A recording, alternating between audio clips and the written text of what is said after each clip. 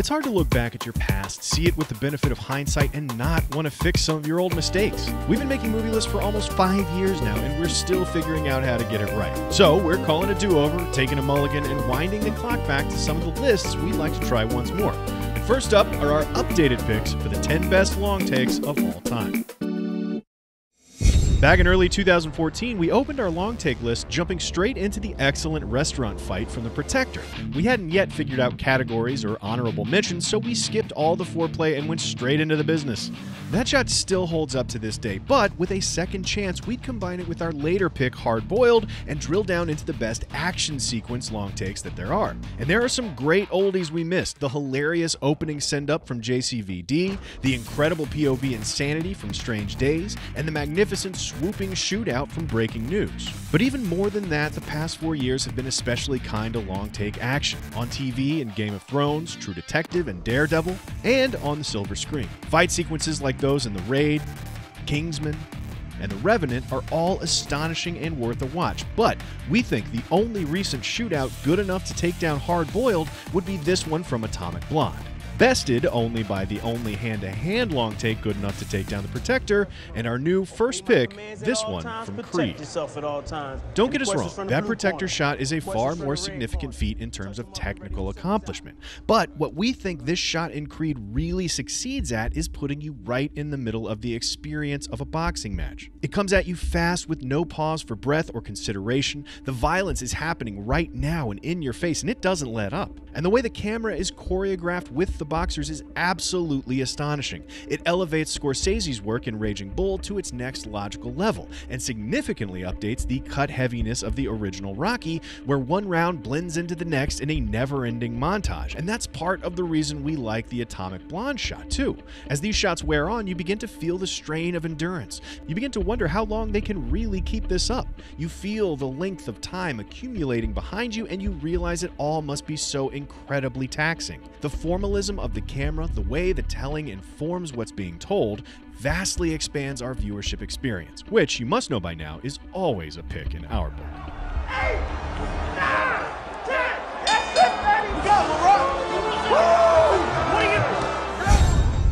Our next pick, all those years ago, marked our first encounter with the cinematic genius who was Andrei Tarkovsky. We picked this shot from the mirror, and I distinctly recall that we saw it knowing absolutely nothing about it going in, and it blew our goddamn minds. We were so entranced by it that we wanted to put it first on our list, but we got talked out of it due to its relative obscurity.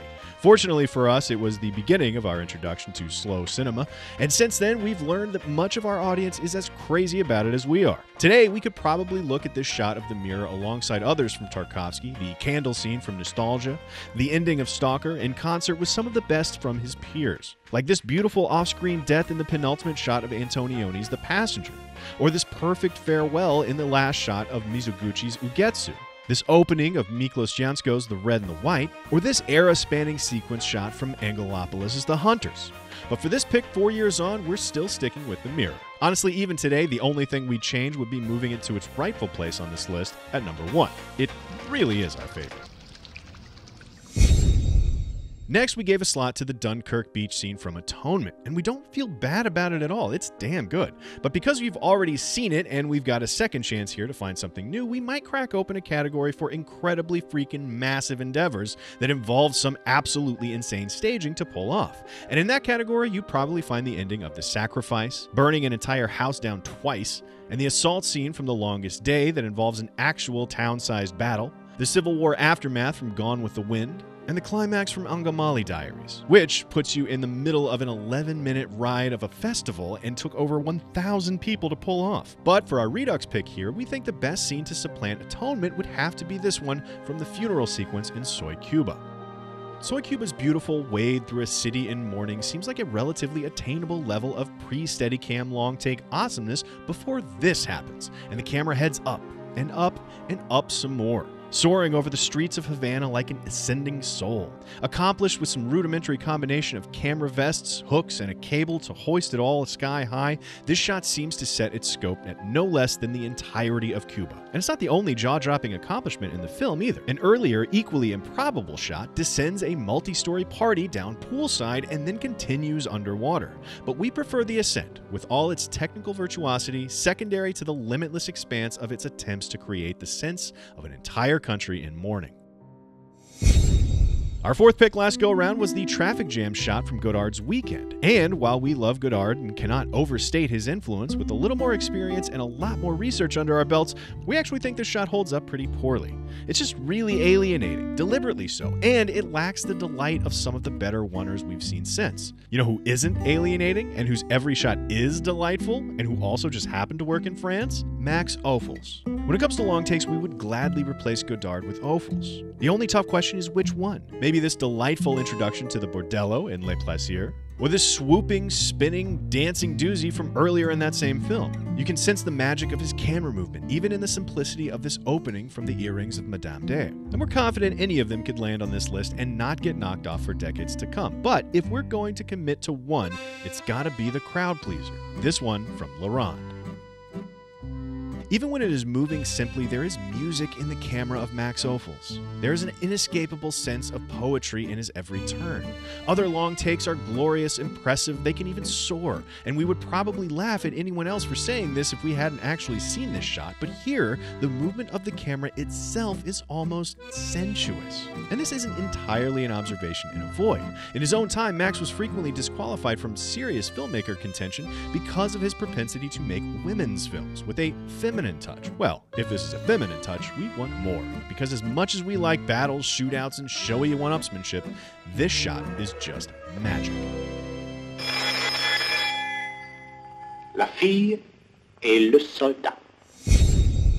We followed Weekend with a one two punch of opening shots. First, this one from the player, and then this one from Touch of Evil. And on second thought, we think they ought to duke it out between themselves and a few other brilliant openers that similarly introduce the action to come. Consider Boogie Nights, or Baby Driver, or La La Land. And maybe they're not first first, but they're close enough for government work early on in films like Serenity, and oh god, especially 12 Angry Men, introducing every single character in one perfect move that you hardly even notice is taking you around the whole room. Maybe It Follows, or Halloween, or Bonfire of the Vanities. No, having weighed all the options properly this time, we feel good about giving it to Touch of Evil. That one is a classic for a reason, and we think we did it justice on our old list. We next picked a pretty great tracking shot from Boogie Nights that follows Little Bill through a party, building its way up to a murder. On second look, it seems like it's cut from a pretty similar cloth as this later pick of ours from Snake Eyes, in that it asks a dramatic question, follows a narrative arc, and then moves us forward until its dramatic resolution. Today, we call this category the scene in a bottle and we think it can do better than Boogie Nights, and way better than Snake Eyes, which is the only pick we're truly embarrassed about. First, Boogie Nights would lead us to look at a really similar shot just last year from Three Billboards that sees Sam Rockwell throw a guy out a window. And from there, we might compare Snake Eyes to the vastly superior opening shot from The Secret in Their Eyes that starts out in a helicopter above a stadium and then lands in its crowd before going on to over five more minutes of action. Minority Report and Kill Bill both track overhead in order to keep us fully informed about a conflict in its geography and if we're out and we could show it to you, we would be very tempted to go with the absolutely devastating hospital sequence from Roma that may well be Cuarón's best shot ever directed. However, instead, we're going with a different hospital sequence that is more than worthy of our slot, this time from Béla Tarr's Werckmeister Harmonies. In a film whose average shot is over three minutes long, this one, perhaps the most remarkable of them all, finds an unnamed Hungarian town whipped into a frenzy by an ominous circus act that doesn't perform. Its rioters unleashing their directionless anger on anyone and everyone clawing into a hospital and ripping it and its patients to pieces. And there's so much working in this shot. Its steady, impassive gaze seems at once unconcerned with the pace of its rabid subjects, satisfied to tarry behind, glide ahead, or shift its attention entirely, and simultaneously devastated by it, responding to this anger not with fury or outrage in response, but a great remorse at the senselessness of it all. But there's also something slowly relentless about it, as if the camera were a wise, all knowing eye stuck in time, but sure of where it would end up. pushing forward unceasingly as if it had a final tragic destination, and we can sense that we're not just heading nowhere, but that we will inevitably arrive. And when we reach that destination and see the futility of this destructive force rendered impotent in an instant, the camera finally halts, and so do they, and so do we. Next, we turn to Goodfellas for its Copacabana tour, and we gotta be straight up with you, we're not replacing this shot. It's simply the best of its kind, but we will consider those that come close, that kind being Steadicam masterpieces that take us into the belly of a new world. Maybe David Bowie's hyperactive London intro from Absolute Beginners, or Ryan Gosling's build up to the Globe of Death from Place Beyond the Pines. There's Shaun of the Dead's two parallel tours of his neighborhood corner store, and Frenzy's long walk to the murderer's flat, followed by its brilliant camera only retreat. They're all great, but they're no Goodfellas. Finishing off our review of the last incarnation of this list, we had two shots from Alfonso Cuaron the opening of Gravity and his car shot from Children of Men. Now, many of our commenters decried the inclusion of Gravity because of its heavy use of CGI, while others decried our Children of Men pick because it wasn't the battle scene shot. Now, we understand the first complaint. We loved the Gravity long take because of the experience it created for us. But part of the fun of a long take is thinking about how utterly improbable the shot was to actually pull off. And Gravity just doesn't tick that box. But if we're talking camera complexity, we don't think it gets much crazier than the Children of Men car shot. Other contenders in a category about it might include the contact mirror shot. The Dr. Jekyll and Mr. Hyde POV take was pretty impressive for its day, and who's to forget some of the longer stretches from Enter the Void? But even with one digital stitch in the middle of it, either half of the car sequence from Children of Men leaves you wondering how the hell they pulled it off, so we're keeping it.